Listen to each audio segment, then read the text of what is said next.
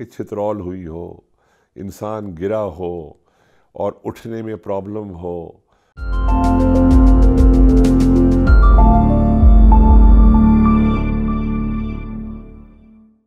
Twitter के जो सवालात हैं उस सिलसिले में हसन जंजुआ साहब ने पूछा मेरे से कि name one life lesson that you learn the hard way तो अर्ज़ ये है कि all your life lesson are learn the hard way ये आसान काम नहीं है।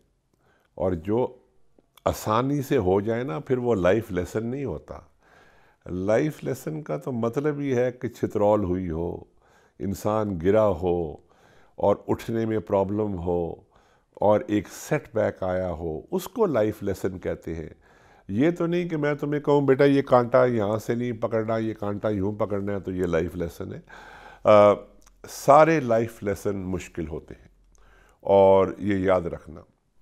और जितना मुश्किल होगा उतना वो लाइफ लेसन आगे मुफीद भी होगा। आ, जैसे आप कहते हो जी कि डॉक्टर बनना बड़ा मुश्किल है क्योंकि उसकी पढ़ाई बड़ी सख्त है। इसी तरह लाइफ लेसन्स भी बड़े सख्त होते हैं लेकिन उनको सीखना और उनसे कुछ रियलाइज़ करना। जैसे हम पहले बात कर रहे थे अपॉलोजी की, कि अपॉलोजी को अनकंडीशनल होना चाहिए अनडाइल्यूटेड होना चाहिए, दिल से होनी चाहिए। फिर आप कुछ सीखते हो ना?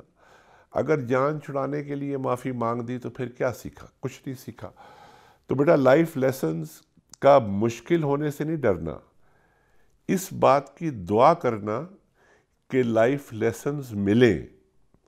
आ, ये दुआ करना। बहुत सारे हमारी ज़िंदियाँ गुजर जाती हैं। हमें कोई लाइफ लेसन देने वाला नहीं होता। कोई हमारी सर्कमस्टांस ऐसी नहीं होती कि जो लाइफ लेसन हो। तो इसकी तो दुआ करनी चाहिए कि ये तुम्हें मिले और तुम इससे सीखो और इसको फिर तुम आगे ट्रांसफ़र करो। तो ये जो मुश्किल चीज़ है इसको अबूर करना या इससे आगे बढ़ना एक बड़ी अचीवमेंट होती है।